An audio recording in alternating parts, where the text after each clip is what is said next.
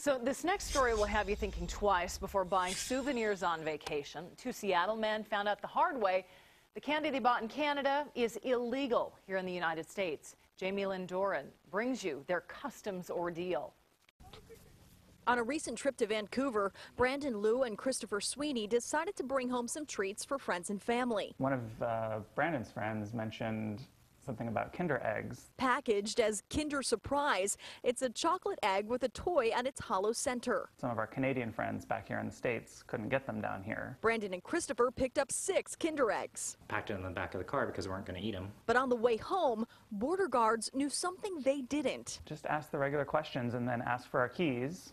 Uh, went to the back of the car, opened the trunk. With Kinder eggs inside. He said, Are you aware that Kinder eggs are illegal in the United States and carry a $2,500 fine per egg? And I actually laughed. We never heard of such a thing. I thought he was kidding. But this was no joke. Kinder eggs are banned from import into the United States because they contain a non-nutritive object embedded inside.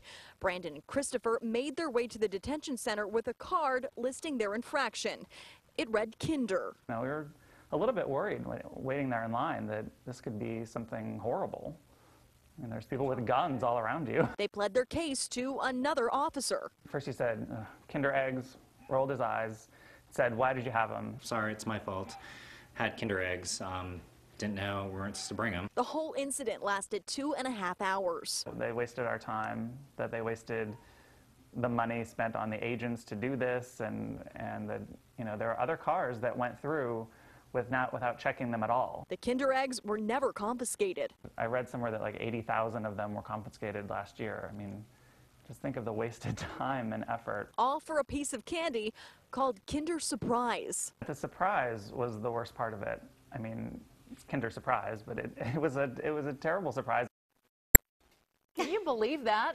Those things, I mean, they're freaky looking, but I don't see how they're dangerous. $2,500 fine. Yeah. The men eventually got off with just a warning.